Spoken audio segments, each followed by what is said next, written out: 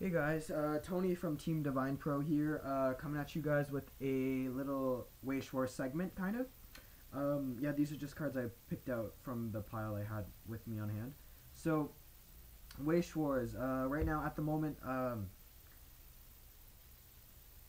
the game is kind of changing. So, like, last year, uh, if you paid attention to the Japanese format, it was mainly, like, big three were, like, Rewrite, Disgaea, and, like, uh, I don't know, Milky Holmes or something.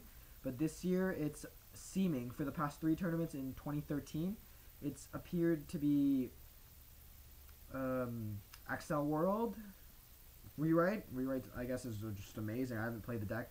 Disgaea and like um, like Sword Art Online comes to mind, but really, in all general reality, it's not really because of the cards or like the deck. It's just how hype it's been, and like in all reality, it's just the anime and with something like Weiss Schwarz, it's when you climax. Because if you climax, say you're about to like die, you climax everything, and then you have a chance to come back. So it Weiss Schwarz is more of a game where you can win if you climax at the right time. If you climax at your level ones, you're just gonna you're pretty you're almost guaranteed to be minus in the end, and you might be uh, suffering. So you might have to push back harder at the very end against your opponent.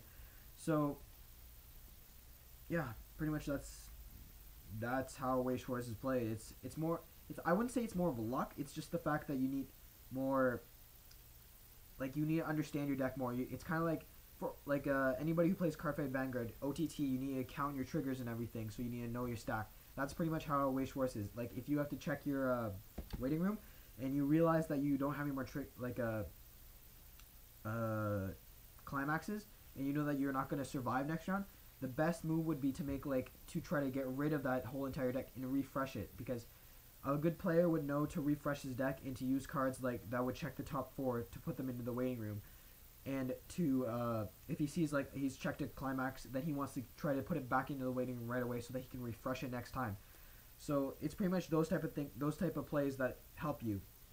And in the next little while i'll make like a video segments on how to do that on how to on what would be a good way to improve your game in a way on Weiss Schwarz. And yeah, so guys, hope you enjoy this tiny little segment I've been just put together really quickly on Weiss Schwarz. And uh, I hope you guys will stay tuned for my little following segments on tutorials and like tips I picked up on how to play the game. And apart from that, this has been Tony from Team Divine Pro, signing off.